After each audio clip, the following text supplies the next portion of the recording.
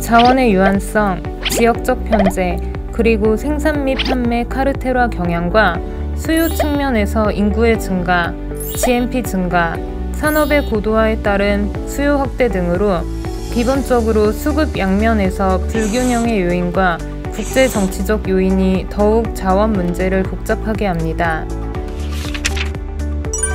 이러한 이유로 국제 원자재 시장은 파동 가능성이 상존하고 있으며 실제로 가격의 등락이 심하게 나타나는 상황에서 소요 자원의 안정적 확보를 위하여 채택하고 있는 방법이 바로 비축제도입니다.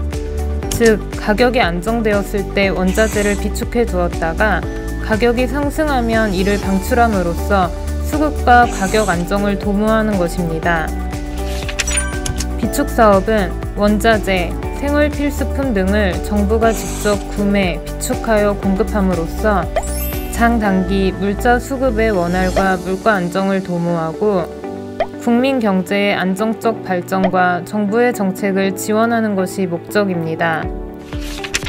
비축 대상 물자는 조달 사업에 관한 법률 시행령 제3조에 의거 기획재정부 장관이 관계 중앙 행정기관의 장과 협의하여 고시하는 물자로 해외 의존도가 높은 물자, 국민 생활 안정에 기묘한 물자, 그 밖에 물가 안정과 수급 조절을 위하여 긴급히 대처할 필요가 있다고 인정되는 물자가 해당됩니다.